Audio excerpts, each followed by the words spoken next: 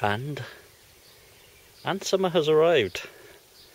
It's the 1st of June 2013. There's a Welsh flag in the distance. There's a slight breeze. This is Bedwas Park and it's coming up to 10 to 7 in the morning, British summertime. I'm off to Cardiff. Yeah, in search of Tiny Rebel and Belgian brews. This is the best time of the day. And the Merthyr train. High quality 1970s technology. And they're reinstating this platform.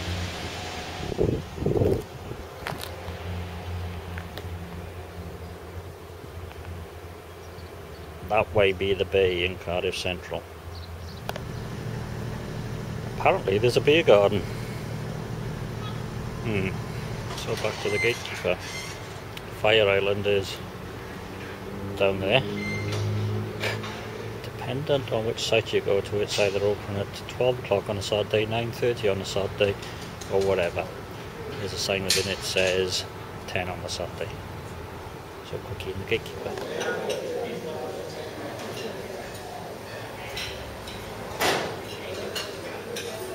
I hesitate to call it the glass because it's plastic and the whole of Cardiff is like this today because there's Speedway on tonight. Ah.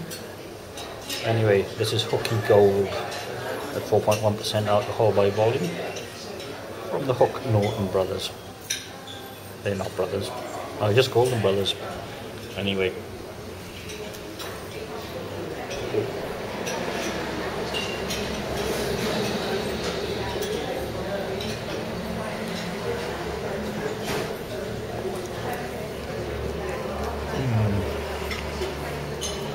Well, it looks nice. And there's a hint of citrus in it. And it's a new bottle. I'll give it a B plus. So, Fire Island. Another Welsh flag. Um, Fire Island on a match day. Some more plastic glasses. This is the, I don't know, signature brew, beatbox, 4.5% alcohol by volume, uh, made for them by Tiny Rebel. Definite A minus, hoppy plus, excellent. Way forward. And outside you might just see the Millennium Stadium.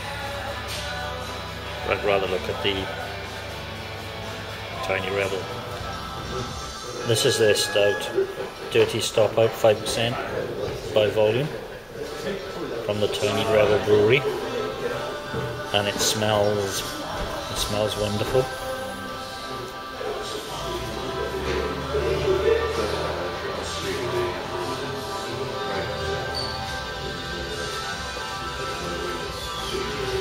Oh, that's burnt chocolatey lingers on the back of the throat.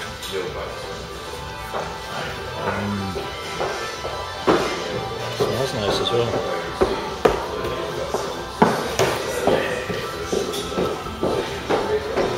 A minus. And in six days time, and over here, in a can, brewed in Sweden from Brutal Brewing, although it says brewed and bottled, or in this case canned by Spendrups Brewery AB, trading under the name of Brutal Brewing.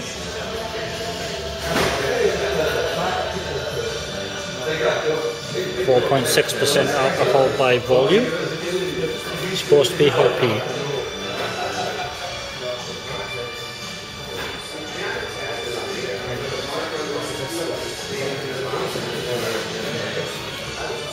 Hmm. Let's be brutally honest. Maybe it's too cold. Although it it says to fully chill the can. It is quite hoppy, but it's mainly a B. And £3.50 at that.